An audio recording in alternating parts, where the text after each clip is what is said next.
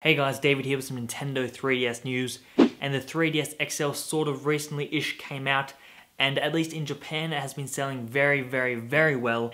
In the first opening weekend of the 3DS XL being available, it sold just under 200,000 units. And then in terms of software, New Super Mario Bros. 2 also came out very recently alongside the 3DS XL, and once again in Japan, it sold over 400,000 units in that same time period of that opening weekend. So over just a couple of days, it sold almost half a million copies, which is pretty ridiculous. Kind of expected for a Mario title, even so, fantastic numbers. And I suspect sales will continue to climb over the next few weeks and months and that kind of stuff, and especially around Christmas, it will just skyrocket because that's what Mario games do. From there, we have the confirmation that Nintendo plans to sell download codes for the eShop via online retailers. This means that instead of purchasing games directly from the eShop, you'll be able to purchase codes online and then use those codes with the eShop so then you can then get the games from the eShop.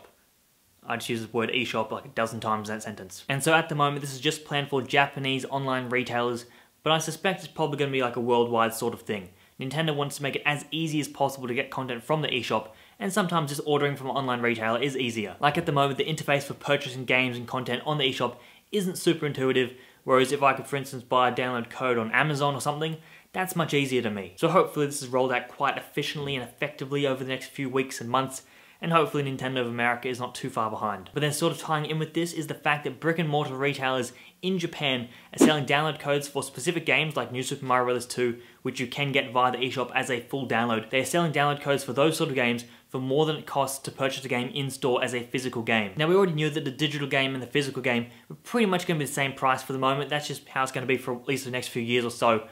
But to sell the digital game for more than the physical game, that's kind of ridiculous. Like the only real advantage from getting the game on the eShop is convenience of downloading it from directly from the eShop, which is sort of like removed if you're buying the download code from the retailer, plus the fact that you're saving a bit of space by not having the cartridge, you know, sitting around your house. But of course, the cartridge in the box, you know, are sort of tiny, so that's not a real problem. So the ultimate big benefit is the cost savings possible with a digital version of a game.